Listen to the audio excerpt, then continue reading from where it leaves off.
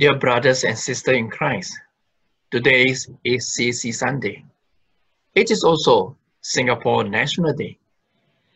We pray for our nation to be stronger, to continue to progress, for peace and stability. We pray for a harmonious relationship between every race and unity to face any challenges ahead. In order to build a society with the right value that are aligned with our biblical value. Happy birthday, Singapore. Due to the COVID-19 situation, this year's CAC Sunday is not like previous CAC Sunday. There is no pulpit exchange. This was a decision made after discussion with our district superintendents as we want to prevent any possibility of cross contact or cross infection. The DS felt that the most appropriate arrangement was for the president to preach.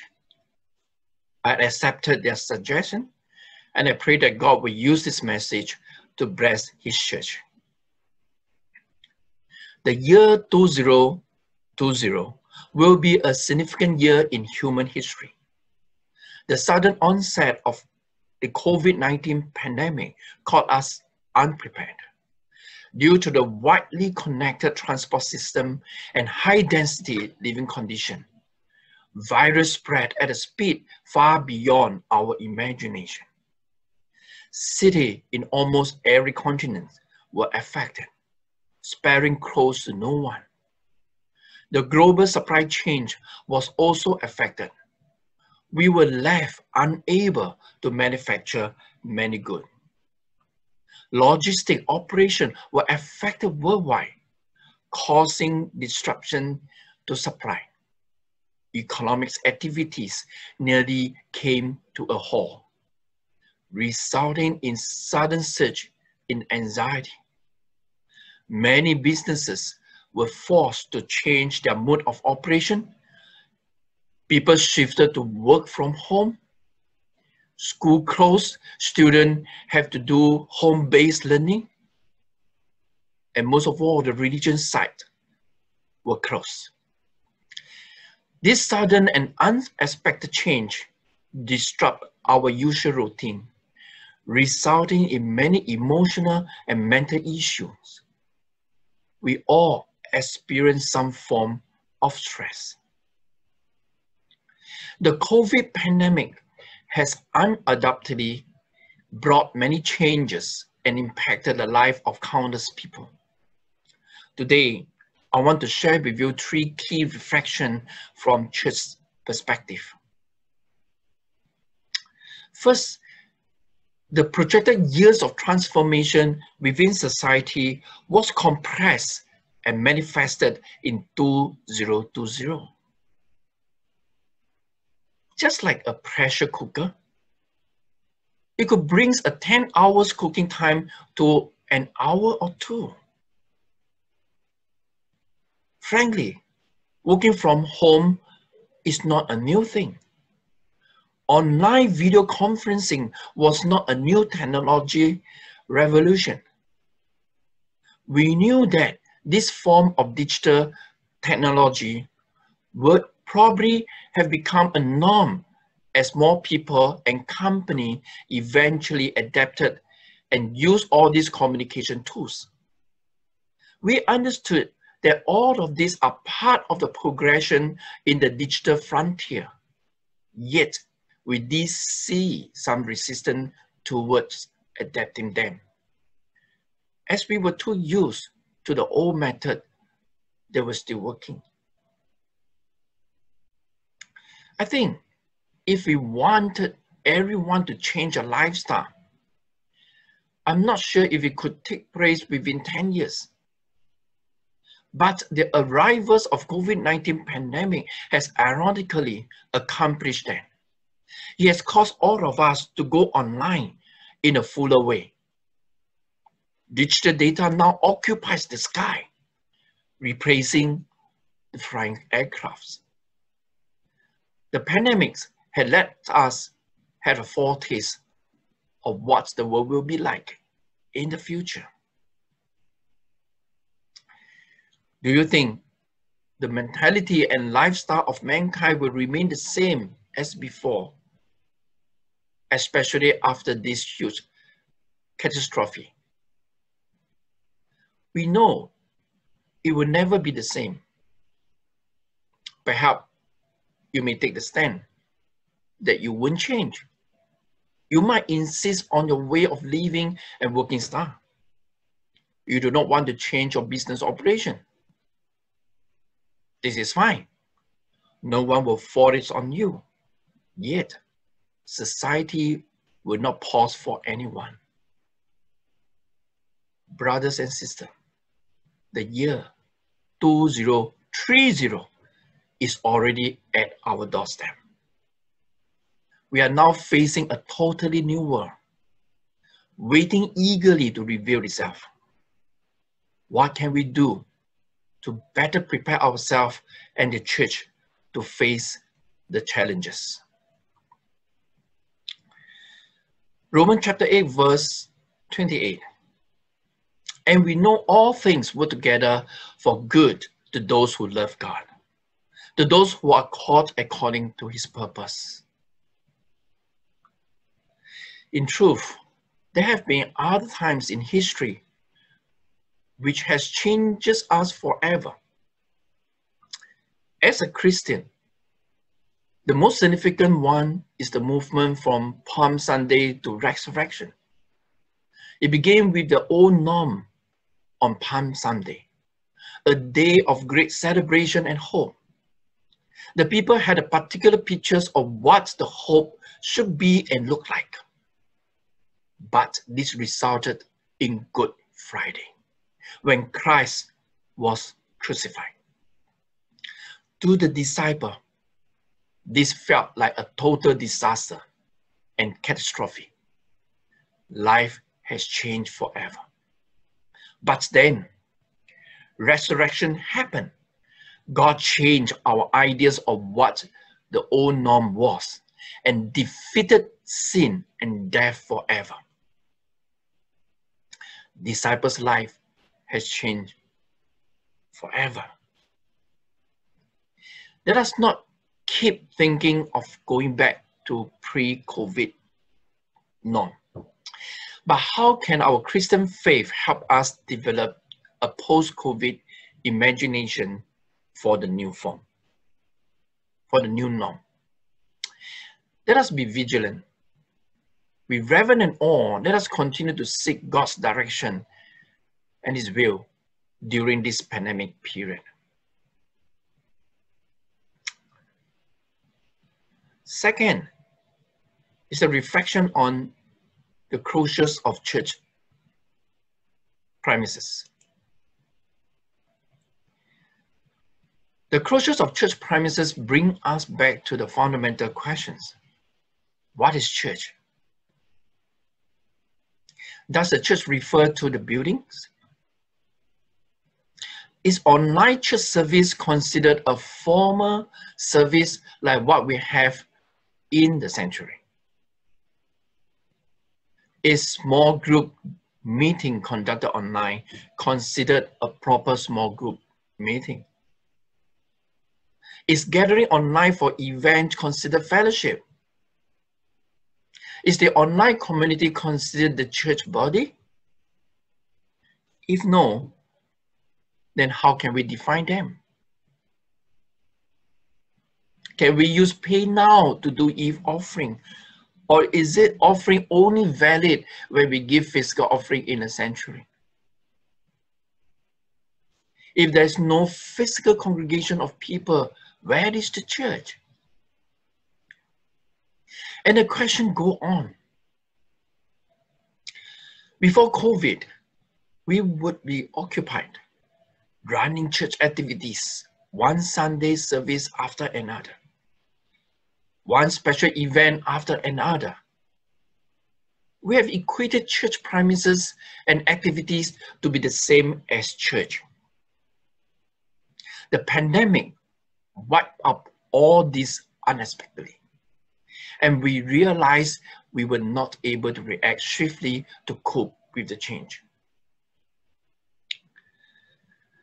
Personally, this sudden pause and slowing of momentums has brought in positive consequences. It allowed us to quiet down and take an honest evaluation of how we view church, helping us to see a clearer picture of our circumstances. It has allowed us to refocus, perhaps removing burdens that were accumulated over the years in order to focus on the essential that the church needs to do. The Great Commission set by our Jesus Christ, as well as the social holiness and sanctification that were emphasized in the Methodist movement by our founder, John Wesley. What is the church? What is the purpose of the church? I think we all remember Jesus gave us the Great Commission in Matthew chapter 28, verses 18 to 20. And he said to make disciple of all nations. And that is a fundamental purpose of the church. The church is to make disciples and to spread the gospel to the end of the world. When we implemented central pooling for the conference last year, we also emphasize the calling that Jesus has for the church to fulfill the Great Commission. Hence, the direction is set for the conference is to be a disciple-making conference. Imagine that we are on a tour to a factory. The person in charge brings us into the magnificent building sharing with you the amounts of material they used to construct the factory, how they overcame difficulties they had, but they do not show us the production line. I'm sure we will be disappointed. Because the purpose of factory tour is to allow people to learn about their manufacturer's product, their production line, and how they ensure high quality and consistency so that visitor and consumer will have confidence in their products. If this is done, not only will they purchase the products for themselves, they will also recommend them for others to use. The church is not a factory, but it has products that is disciple of Jesus Christ. The existence of the church is not about a visible structure. The church exists solely because of the Great Commission. Thus, even we are not able to gather in church sanctuary to worship, we are still the church because we are the people of great commission. We will continue to share the gospel and make disciple of Jesus Christ. Third, I want to share is that people need the Lord. The coronavirus pandemic has revealed how fragile and short life is. Despite the advancement in our medical technology, we were at loss with handling of the virus. We need a whole global community to mobilize resources and energy to contain the spread of the virus and to develop vaccines. We have come to realize that what we used to depend on is so vulnerable the security that the world has is unreliable, then on whom can we rely on? Where is the real peace? How can I face the future? What is the meaning of life? Many questions about life and purpose resurface in our mind. The shrinking of economy, closures of companies, retrenchment, family dispute, emotional issue, it all seem to come one after another. When people are feeling anxious, who can give them the living hope? Who is willing to share the gospel with them?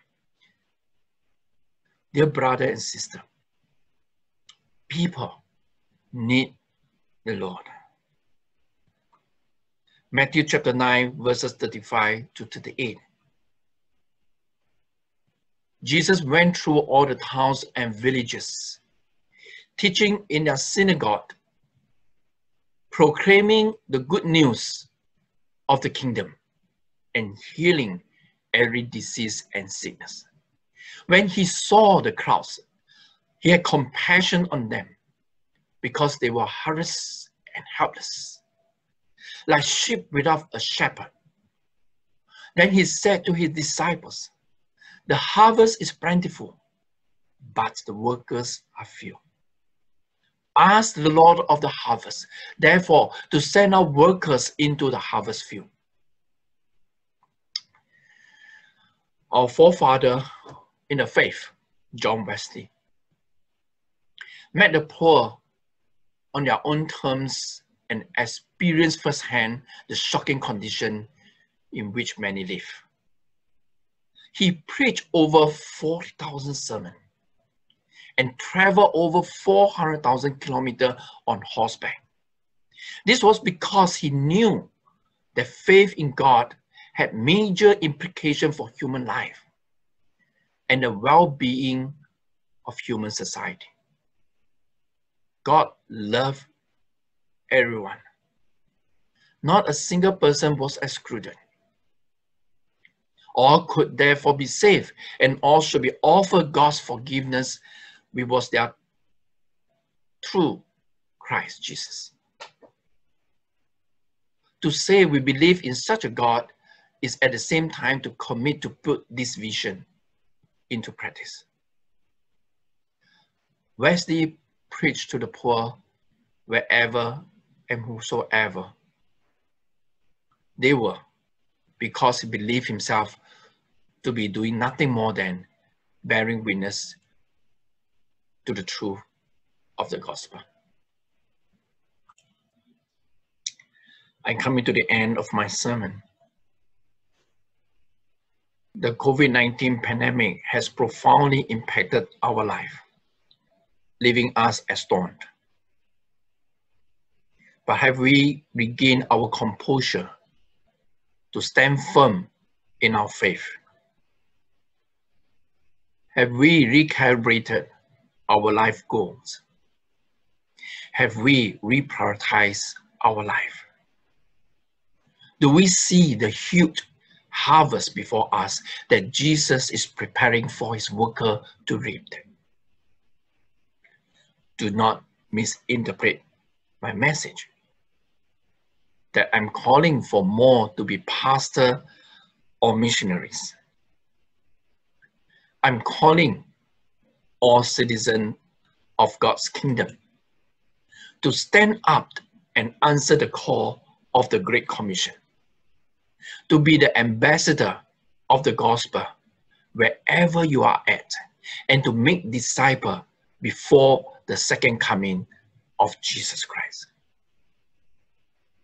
If you are willing, may I encourage you to stand in response and I will pray for you.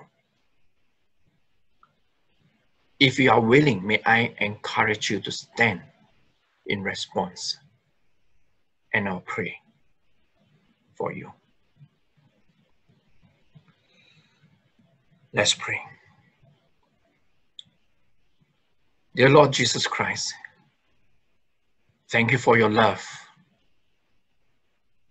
Thank you for dying on the cross. Thank you for your amazing grace that we can receive the salvation and be called your children. Thank you for your resurrections. Thank you for giving us the Great Commission. I want to pray for those who stand up. May you grant them faith and courage. With your wisdom, they will stand up for you in wherever they are. Protect them and guide them in all their efforts to be your light and salt in the world. I also pray for those who did not stand up physically, but in the heart.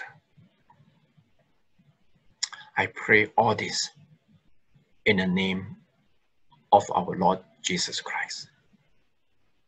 Amen.